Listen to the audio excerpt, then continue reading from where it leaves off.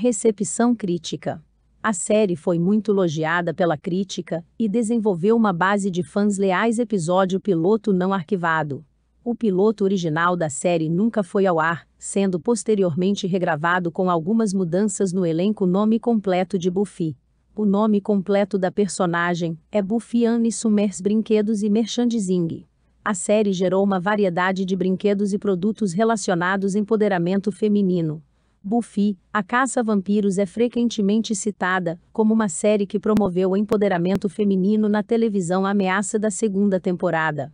A segunda temporada apresentou o vilão Angelus, que foi uma das ameaças mais sérias enfrentadas por Buffy música na série.